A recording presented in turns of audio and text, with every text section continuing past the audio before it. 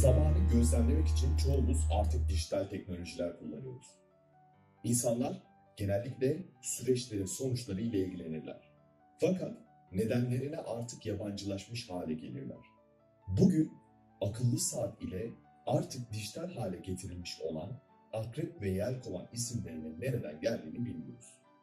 Siz hiç klasik saatlerle dilimize kazandırılan Akrep ve Yelkovan hikayesini merak ettiniz mi? Gelin sizi bu hikayeyle baş başa bırakın. İnsanlar eski zamanlardan beri zamanı ölçmek için çeşitli araçlar kullandılar. Güneşin bir rutinde aynı yönde doğup battığını ilk keşfeden medeniyet Mısırlılar oldu.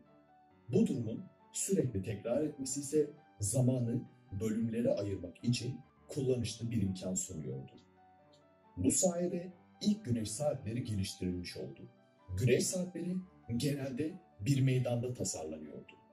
Yüksek bir taşın gölgesinin düştüğü farklı yerlere saat numaraları veriliyordu. Bu saatlerin keşfedildiği coğrafya kuzey yarımküre olduğu için güneşin doğuşu taşın gölgesini batıya düşürürken tepeye ulaşması gölgeyi kuzey yönünde hareket ettiriyordu.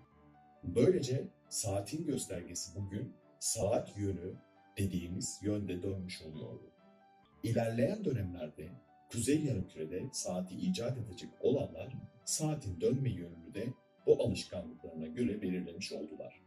Yani akrep ve yelkovanın saat yönü olarak adlandırılan yönde dönmesinin temelinde gölgenin sağa doğru çizdiği eğri iz düşü yatıyordu.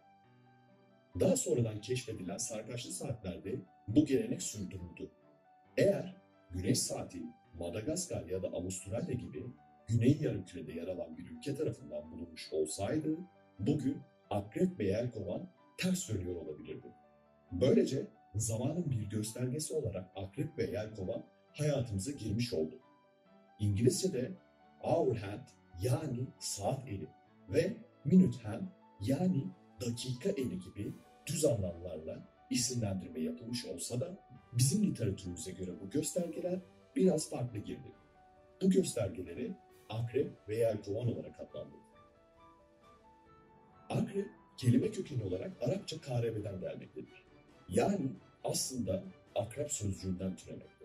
Bize ilk başta zehirli bir böcek türünü hatırlatan bu kelime aslında sivri uçlu çengel anlamına geliyor. Yani akrebe de ismini veren aslında iğnesi. Yelkovan ise Türkçe'ye kendi dilinden kazandırılmış. İlk kullanımı yaklaşık 15 asır öncesinde tespit edilmiş yel koğan olarak kullanılan bu kelimenin boş gezen havai anlamı var. Ve yelmek fiili ise koşmak, hızlı gitmek anlamına geliyor. Akrepten daha hızlı hareketi muhtemelen ona bu ismi takmış olmalı. İşte akrep ve yelkovan hikayesi bu şekilde. Eğer siz de bu videoyu beğendiyseniz lütfen beğen butonuna tıklamayı, kanalımıza abone olmayı unutmayın. Ve beyaz tavşanı takip etmeyi unutmayın.